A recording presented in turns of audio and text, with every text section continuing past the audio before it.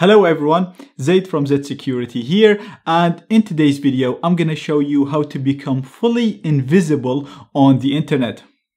Now before we get into the video, please make sure you smash that like button if you're enjoying my videos. This will tell me that you're enjoying my content which will make me make more content.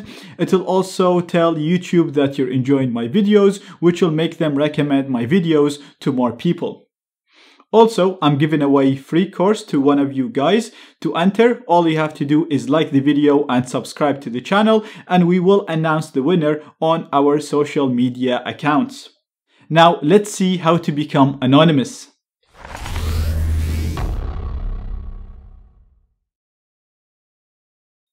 So let's get real. It's practically impossible to be fully invisible on the internet. By design, everything you do gets logged. For example, let's say you're trying to access a website, for example, google.com. Your data passes through a number of hops. It passes through your internet service provider and then it reaches its destination. So all of these stops can actually analyze what you do and log what you do and profile you not to mention government agencies and hackers that can actually intercept these connections and intercept your data and again read it, log it, analyze it, and profile you.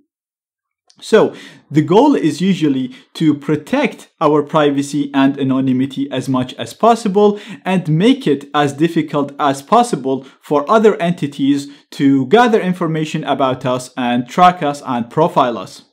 So for the rest of the video, I'm going to show you the most important points that you want to keep in mind and the most important things that you need to learn in order to protect your privacy and anonymity. Now, this is a huge topic. It is impossible for me to cover it in one video. I actually have a full course, which is about 11 hours of content to teach you how to protect your privacy, anonymity, and access to the dark web. So I'm going to go through the main points in this video.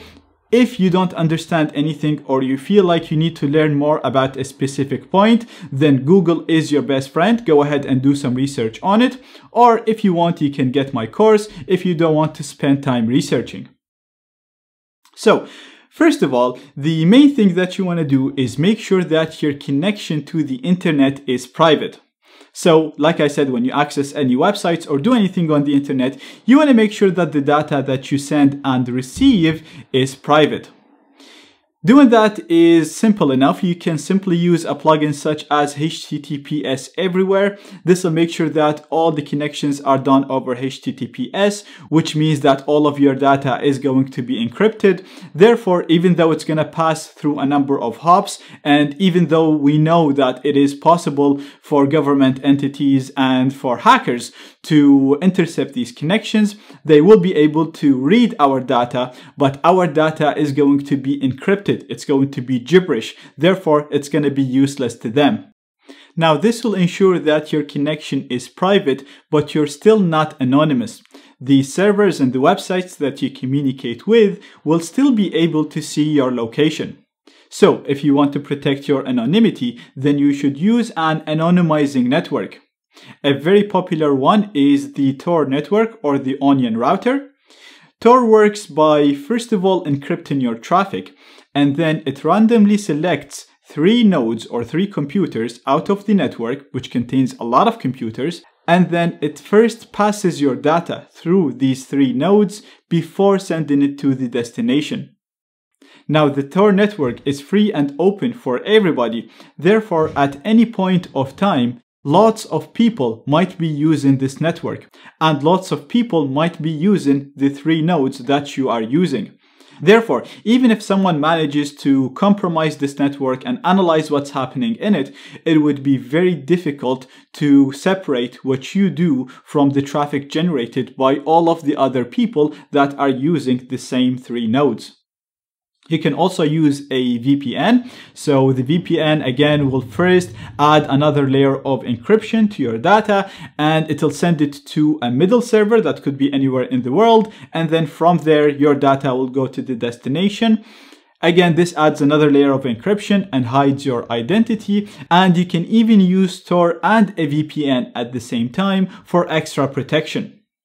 Last but not least is security. So even if you're using a great anonymizing network, you're bouncing your traffic through a number of servers and you're using all sorts of encryption to protect your privacy, if somebody manages to gain access to your computer, everything you're doing is useless because they can de-anonymize you very easily. Therefore, if you're serious about protecting your privacy and anonymity, it's very important that you use a secure operating system. So you should really consider moving away from Windows and OS X.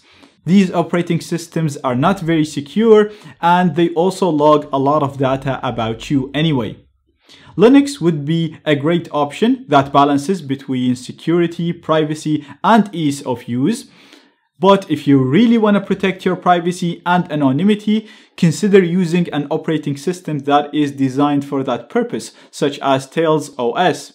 This is a live and amnesic operating system that you can boot from a USB stick. Once you reboot, it removes everything. It routes all traffic through the Tor network to protect your privacy and anonymity. And it actually comes with a lot of really useful privacy tools. If you really want to take your security to the next level, then I highly recommend looking up Qubes OS. This is an amazing operating system that is designed from the ground up to be very, very secure. It separates everything into different domains and everything runs into separate virtual machines that cannot really interfere with each other. It has really cool features such as disposable virtual machines to run suspicious files, vault machines to store sensitive files, a Linux gateway to route all traffic through the Tor network, and so much more. You should also always be aware and smart with what you do on the internet. So it doesn't make sense that you follow everything that I said so far and then you go and log into your Gmail or Facebook account that already contains all of your information, your friends, and the previous locations that you used to log into these accounts. That'll jeopardize everything. So you want to be smart with the services that you use from your email services to instant messaging to search engines, pretty much everything you do on the internet. You need to think twice about it and try to move to more privacy focused solutions. For example, instead of using Gmail, use ProtonMail or even use a dark web email provider that is more private and more secure. I'm only using Gmail here as an example, but this goes for all of the services that you usually use on the internet. So like I said, from instant messaging to downloading and uploading and even social networks, you want to be very smart with what you do. And you should also think twice about the information that you share on the internet. Think about the people that you communicate with, the way you type your emails. All of these things can be used as clues and pieced together in order to de-anonymize you.